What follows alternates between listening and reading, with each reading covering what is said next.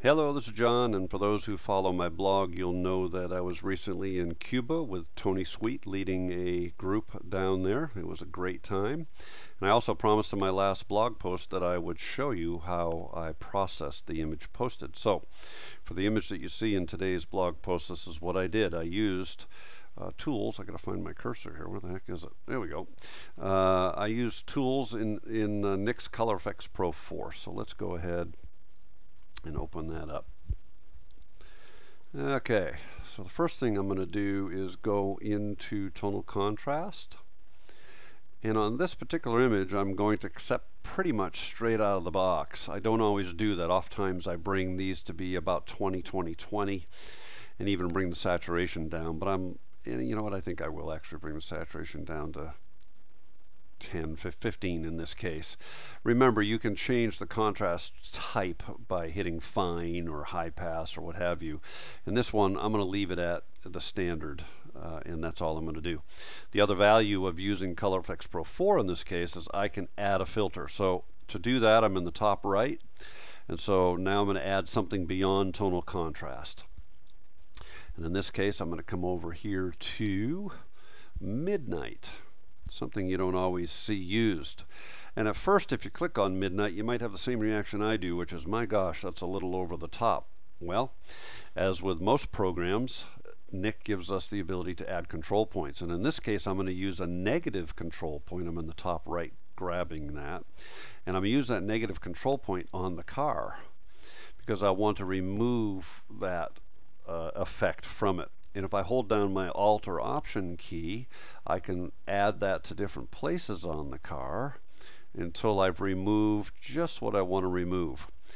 By way of interest, if you hit the plus control point up here, I can now click on the street and notice how it darkened the street up a little bit again.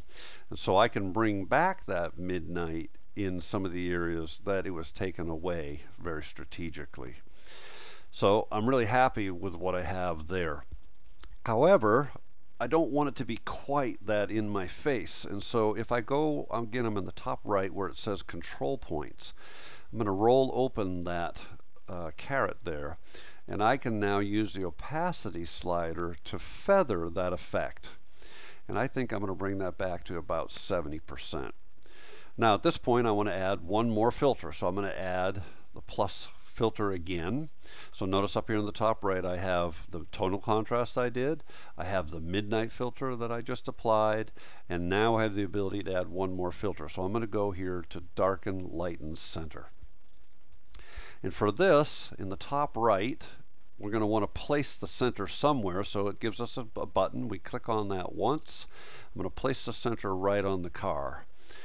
Now, the choices we have here is to make that either a, a, pretty centered square with a little bit of feathering or this big oval feathered.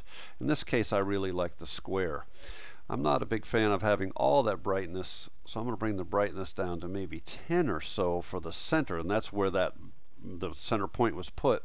More importantly, we, we want that edge to be darkened so that we're holding your eye within the frame. And then the center size we can adjust too. And I want to make that really a small spotlight on the car and the wall behind it. And I'm pretty happy uh, with that. So let's just kind of look at what we've done pretty quickly. Here's my dark and light and center. I like what that does a lot. It holds your eye right in the frame. And then here's my midnight on and off give that look. And then here's tonal contrast to add a little contrast. So we'll turn those all back on again. And that's pretty much what we end up with. So let's go ahead and hit OK. And the final thing that I did on this image was go into Viveza, open that up, and just gave me a chance to go in and tweak a few things here, like this bright area up here bring that down just a touch, add a little bit of contrast in there as well. Again, I'm hitting my Alt or Option key and coming over to this wall that's a little dark. I'm going to make my circle a little smaller too so it's not affecting too much. Smaller circles in Viveza are better. Pretty minor things going on here, but let's go over to the car specifically and let's brighten that up just a touch again. I think you know, really make that red kind of sing and maybe the front of that. Well, that that got a little bit more than I wanted to, so I'm going to bring my circle a little smaller to make sure that it's not affecting surrounding areas. And that one I don't like as much. I'll take that away. That's how I do things, by the way. Uh, I just play, and then you'll. I'm going to come back to here and darken things down again where it where it affected it more than I wanted it to. That's the idea. Obviously, I took a little bit more time on the image that you see posted on the blog, but I thought it was an interesting look. I'm really a fan, and hopefully, this will give you some creative uh, thoughts for an image that you might want to apply the same type of technique. We'll see you next time.